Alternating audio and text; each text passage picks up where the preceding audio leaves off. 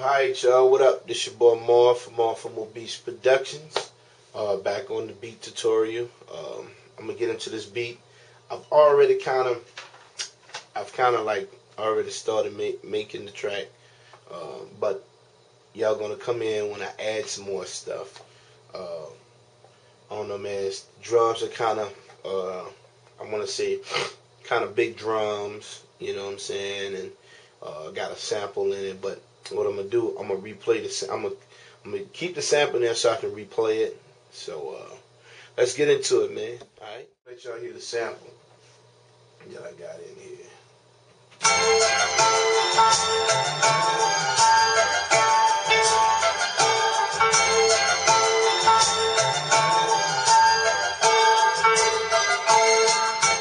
All right, now, and uh, that's the sample. This how it sound all together.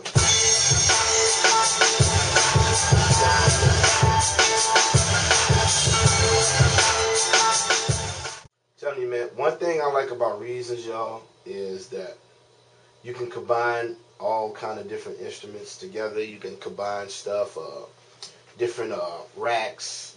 You can put different EQs and different things on it, you know. And you know, I just since I, I mean, since I, I, I, I use reasons uh, for everything, you know, I just learn, just learn how to try to use everything that's in, you know, that comes with it. You know what I'm saying? Um, you know, it's good to always try to learn the ins and out of every record, any kind of software that you get, or any drum machine, if that's the case. You know what I'm saying? I remember when I had hard, when I had hardware drum machines, I maxed them all out you know what I'm saying? And then I went over to Reasons. And I'm gonna eventually max Reasons out unless they come out with a reason. Well, they already got Reasons five, but they come out with another add-on to this to the uh, you know actual uh, Reasons drumming program. You know the production program. So um, this particular these some strings that came in there, but I added you know, some reverbs and stuff to it, you know.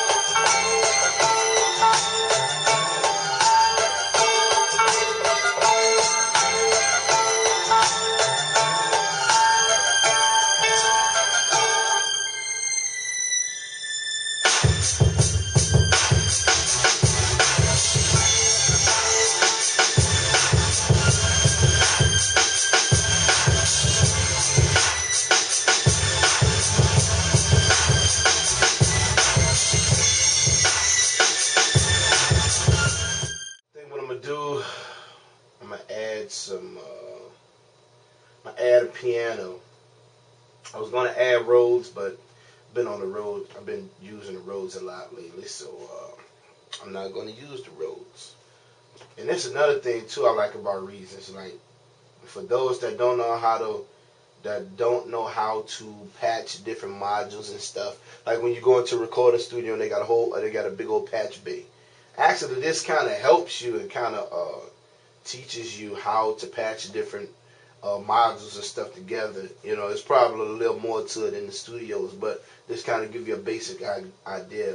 Uh, it's pretty educational if you ask me. You know what I'm saying? Just because you have to, you know, um, you can patch different stuff to get different get different modules that's in the reasons to work. I think it's dope to do that.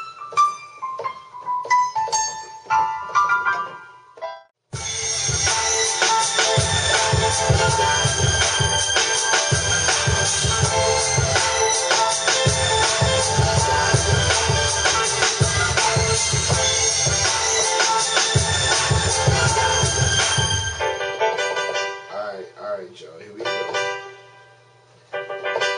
Get into this.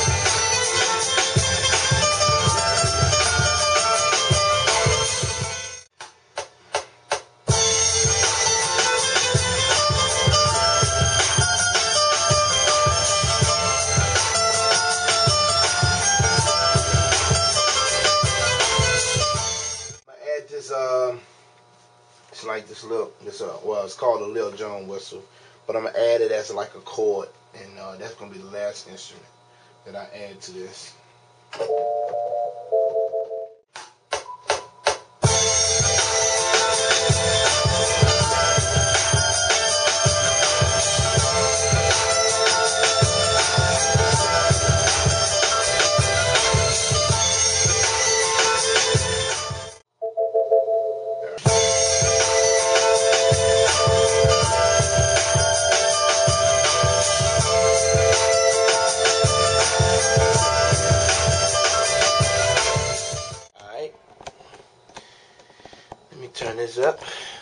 And there you have it.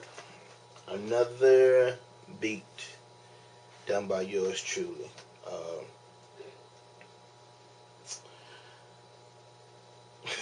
I lost my train of thought. But anyway, it's a track that I made. Um, I'm going to finish it up, format it, da da da da da.